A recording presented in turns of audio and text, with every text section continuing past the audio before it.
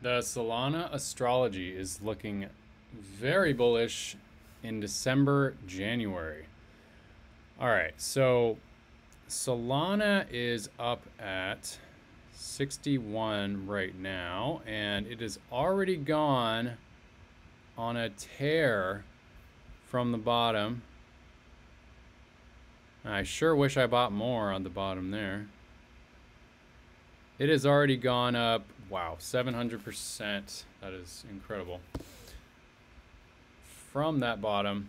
And I drew this Fibonacci line from the bottom to this local peak back in April 2022 to see how we're doing with that. We've already passed the 0.618, we passed the 0.702. If we head up to the 50% from this point up here, we could head up to 75. Um, and then I'll look further for an even more bullish case. But let's look at the astrology. What I was noticing that's very interesting is this Jupiter conjunct the Solana Uranus. And if you don't understand what that means, I will explain. So Jupiter is the planet of expansion, and Uranus is the planet of technology and crypto. And so Jupiter is expanding the Solana chart, perhaps, uh, as Solana being a crypto.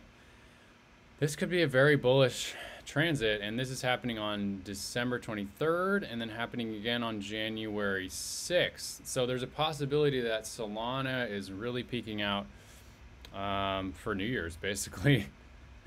we could have a very good Christmas and New Year's with Solana. All right. Um, and perhaps this could head in further into January. Let's see. That's kind of a we have a negative at the end of January, but then also a positive. So those might cancel each other out. Um, but then we have Pluto conjunct the Solana Saturn. That's interesting.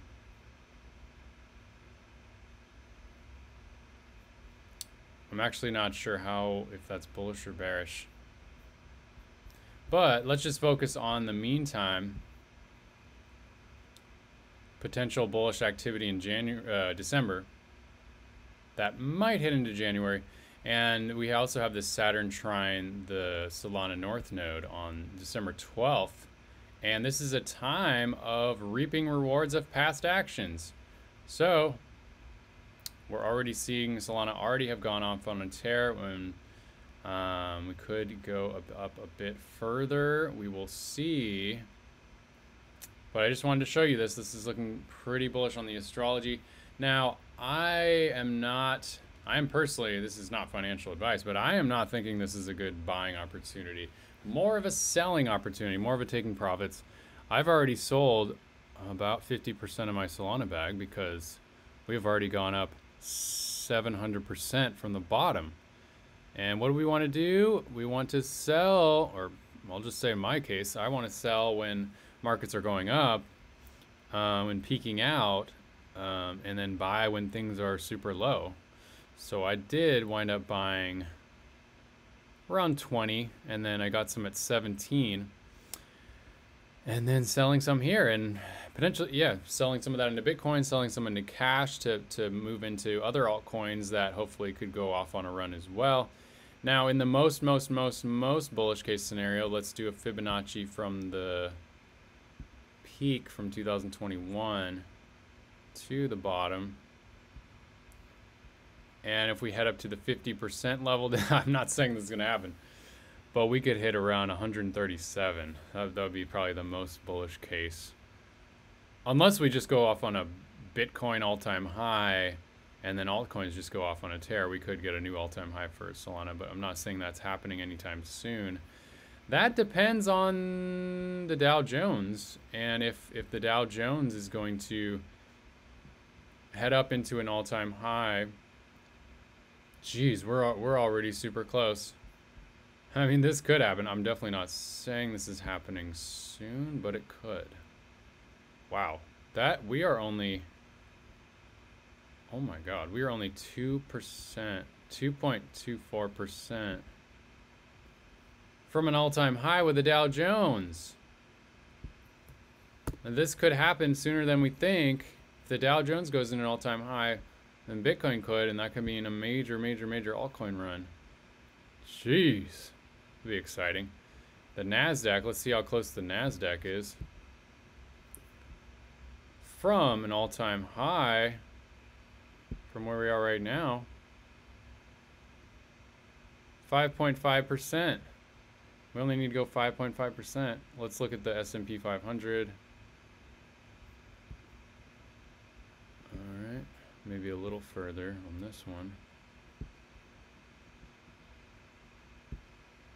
Oh, 5.5%. The same. Um, but then I would also want to see, I would also want to see the DXY start to head down below 99. We're still at 103.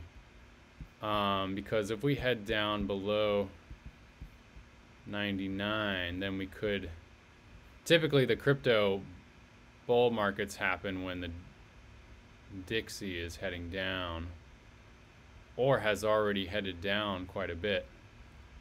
Um, I'd like to see it head down further to really get a bull run. Now, that could happen next year or 2025 is what I'm thinking.